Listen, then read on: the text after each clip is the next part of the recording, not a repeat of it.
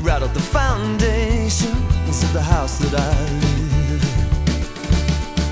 in. No, I can't live there anymore.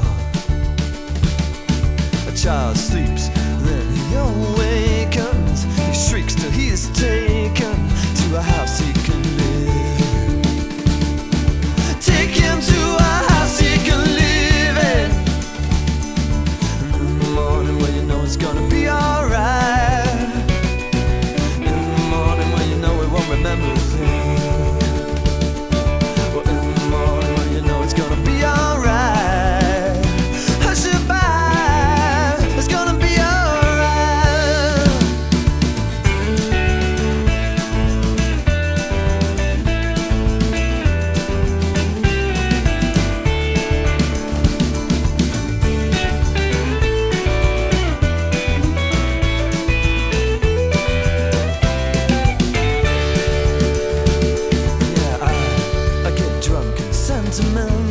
I need a touch that is gentle just to take me, take me to.